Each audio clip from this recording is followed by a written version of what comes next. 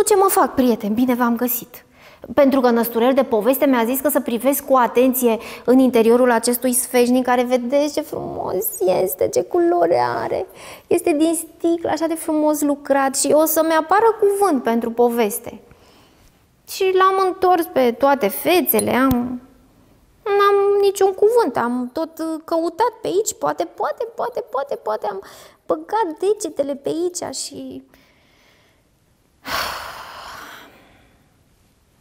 Ce mă fac? Să mai încerc? Auziți? Se aude ceva?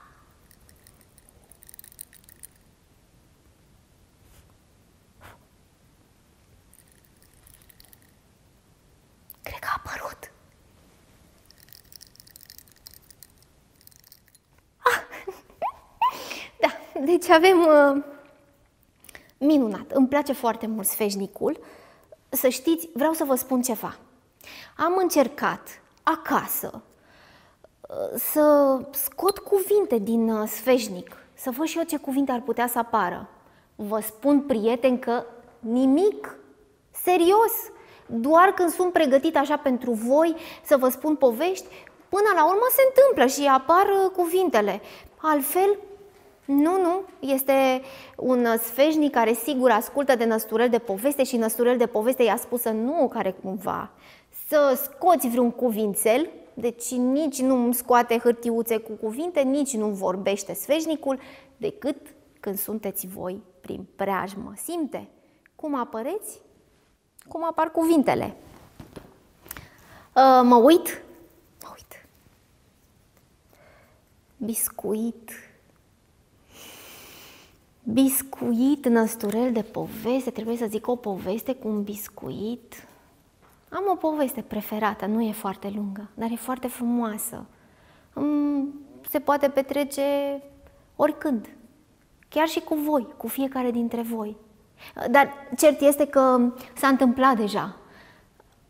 Acum ne imaginăm că suntem într-un aeroport, pentru că povestea se întâmplă într-un aeroport.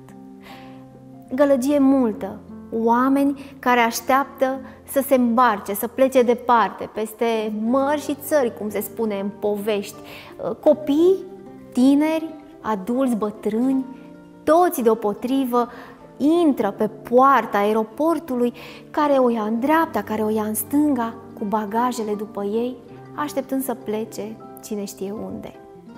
Într-o zi, dis de dimineață, pe poarta aeroportului a intrat o tânără. O tânără frumos îmbrăcată, zveltă, cu părul lung, aranjat, având o geantă pe umăr și îndreptându-se către sala de așteptare pentru a pleca cine știe unde în lumea aceasta largă.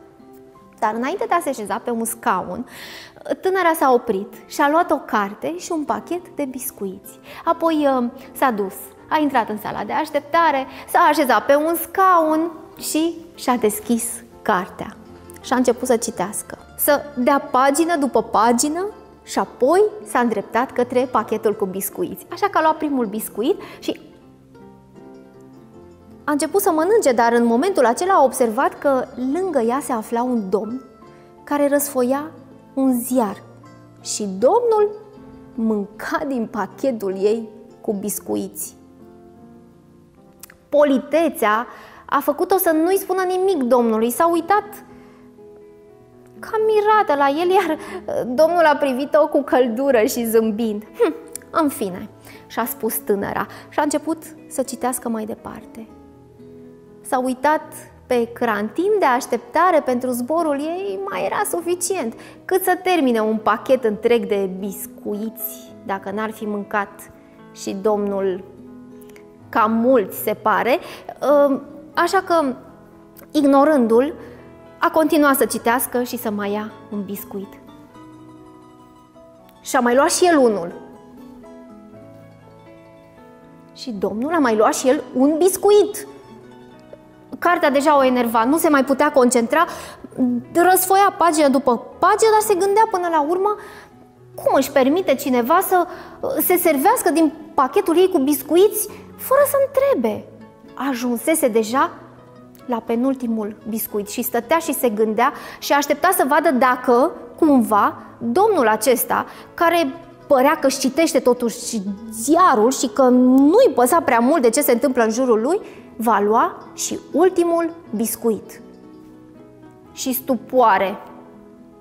La ultimul biscuit, domnul l-a luat, l-a rupt în două și cu cel mai cald zâmbet i-a oferit ei jumătate. Asta e culmea, și-a spus. Asta chiar e culmea. Și-a pus geanta pe umăr și s-a dus într-un alt loc din sala de așteptare, măcar să nu mai stea lângă domnul acesta care și-a permis să mănânce din pachetul ei cu biscuiți. Și când s-a așezat într-un alt loc din sala de așteptare, tânăra și-a deschis geanta să-și bage cartea în geantă. Și atunci a observat că pachetul ei de biscuiți se afla în geantă, iar ea a mâncat tot timpul din pachetul Domnului, care, fără niciun soi de răutate și de malițiozitate, ba zâmbindu-i cald, a împărțit cu ea și ultimul biscuit. Eh, și de atunci tânăra a învățat un lucru foarte important, că de multe ori e frumos să împarți și mai frumos este ca atunci când cel care are nevoie de ajutorul tău să nu simtă cu adevărat că l-ai ajutat.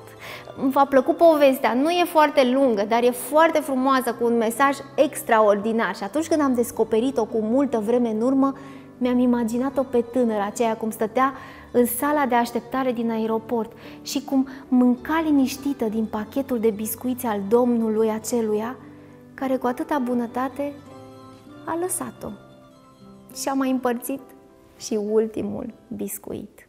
Așa că dacă v-a plăcut povestea, dragii mei, vă aștept să-mi trimiteți un mesaj la numărul de telefon mobil 0740171622.